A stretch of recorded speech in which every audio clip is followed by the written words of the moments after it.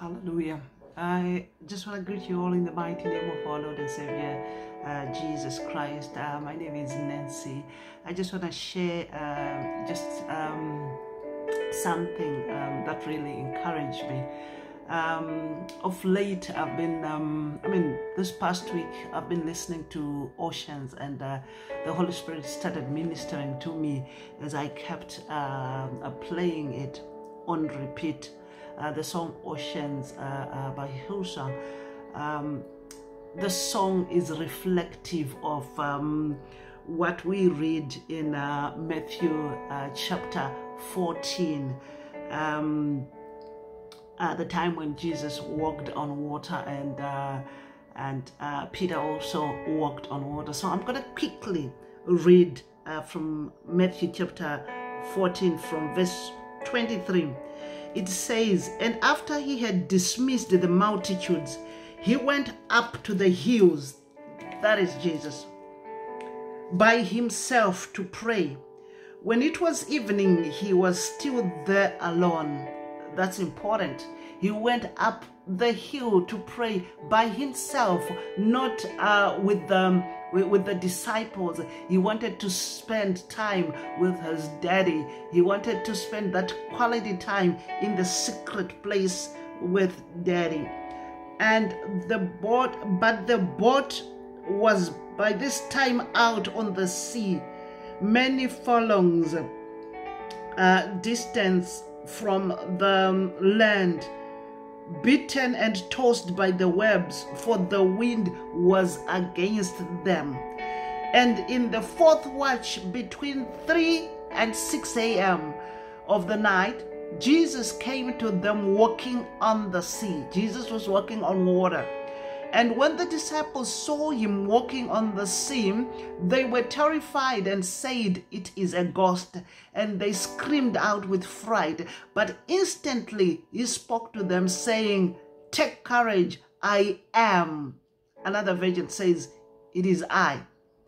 Take courage, I am. Stop being afraid. And Peter answered him, Lord, if it is you, command me to come to you on the water and he said come so peter got out of the water of the boat and walked on the water and he came towards jesus but when he perceived and felt the strong wind he was frightened and as he began to sink, he cried out, Lord, save me from death. Instantly, Jesus reached out his hand and caught him and held him, saying to him, O ye of little faith, why did you doubt? And when they got into the boat, the wind ceased. So we have a situation where the disciples had already left in the boat, but Jesus was, um, they left Jesus behind. He was in the secret place, he was praying. And when he came, Jesus walked on water and he, he, he they, they, they realized that Jesus suddenly was there and they actually thought that uh, it was a ghost and um, they were very afraid. But um, he said, do not be afraid, it is I, you know. And, um, and um, when Peter, Peter being Peter, he said, if it is you, Lord, bid me to come allow me to come and he said come. And um, he started walking towards jesus on water. But mind you um, um, there was um, the wind was against them and there were waves beating on the boat.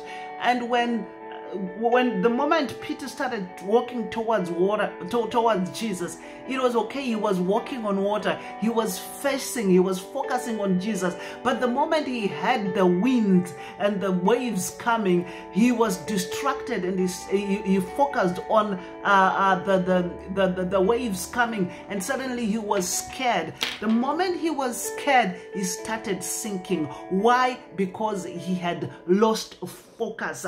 He had been distracted. And the moment he was distracted, he started to sink.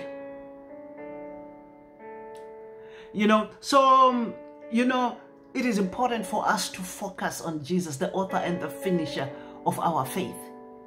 You know, in this season, you know, where the coming of the Lord Jesus Christ is more eminent than ever before, we need to spend time in the secret place We need to spend more time in the secret place. We need to be able to hear His voice.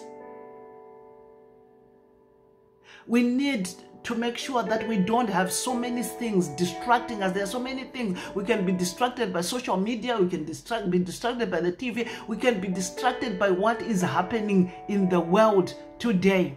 But I want to encourage you, brothers and sisters, let us focus on Jesus Christ, the author and the finisher of our faith. Let us not allow all these things, these troubles of the world, to distract us from focusing on Him. So, anyway, if we look at, I mean, probably if it was me, I would have stayed in the boat, you know. But Peter was brave. And he, he said, if it is you bid me to come, he started walking and well, he he he, he lost focus because of uh, you know fear of the waves that were uh, uh, uh coming. And um, then Jesus held his hand. So I just want to encourage you, let us not lose focus in this season. So I was saying that as I was listening to this song, you know, the Holy Spirit started to minister me to, to minister to me, um, saying that you know, in this season, I should ask Him to lead me where my trust is with that border. You know, what does it mean? You know, trust with that border. Trust with that border is when I will release all control of my life. You know, it is. I mean, as human beings, we want to take charge of our lives. We want to be in control.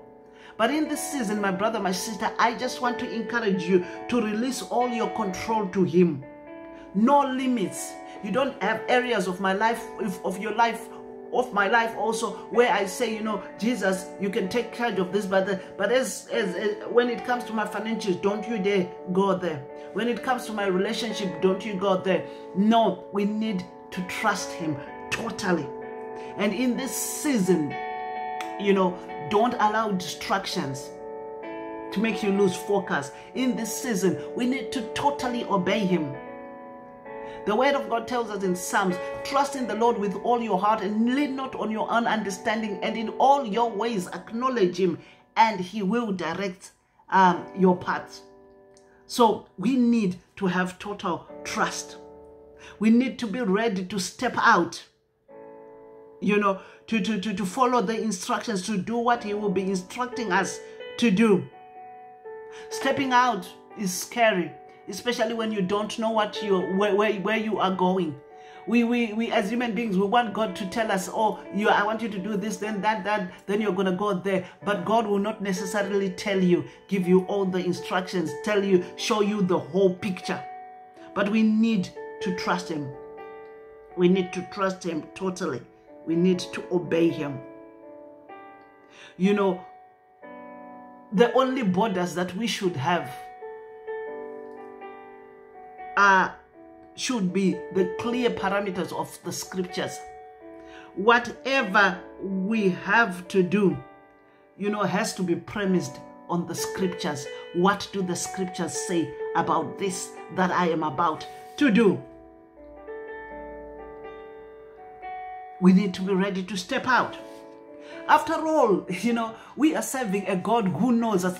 I'm serving a God who knows me by name. God even knows my nickname. You know, He is. There is nothing that happens in my life that in your life that comes to Him as a surprise.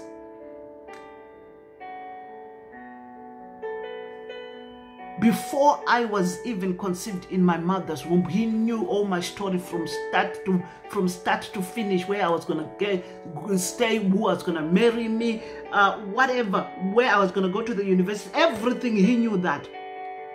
He is Jehovah El Roi. He is a God who sees me every time His eyes are on me. So I need to trust Him. He is Jehovah Shalom. He is my peace when I am faced by storms.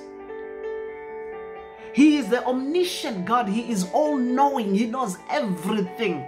So why can't I trust Him? He is the omnipotent God. He is all powerful. He says, I'm the Lord your God. Is there anything too difficult for me? He is omnipresent. He is present everywhere at any one time. He is here with me right now. And His word says to me, You know, I will never leave you, you know, forsake you, but I will always be with you up to the uttermost ends of the earth. So why don't I trust him? Why don't I, you trust him, my friend? I encourage you to trust him. You know, I just want to uh, finish by looking at the the the, the, the, the, the lyrics. You will love the lyrics of Oceans.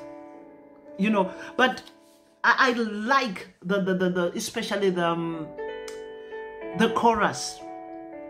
But some of the words that are said in that song is that your sovereign ho- your sovereign hand will be my guide.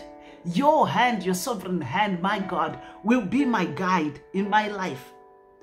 Where feet may fail and fear surround me,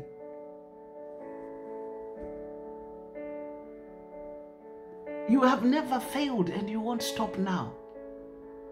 Your hand will guide me where my feet may fail and fear surround me. Your hand, your sovereign hand, will always surround me. His sovereign hand will surround you, my friend. He will steady you up when you are about to fall. He has never failed and he won't stop now. When, he, when, when, when you are struggling, just call upon his name you know and just keep your your, your focus above the wave, the waves so that you don't get distracted when oceans rise you know my soul should rest in his embrace when trials come when struggle comes i choose to stay my soul chooses to stay in his embrace so the lyric says that the, the, the, my best the, the um, that i like is Spirit, lead me where my trust is without borders. Let me walk upon the waters wherever you would call me. Take me deeper than my feet will ever wander, and my faith will be made stronger in the presence of my Savior. So I am saying, God, in this season, Lord, I want to have a deeper relationship with you. I want to have a more intimate relationship with you. I don't want to scratch the surface kind of relationship with you. I want to spend more time in your presence. I want to please you. I want to live a life that pleases you.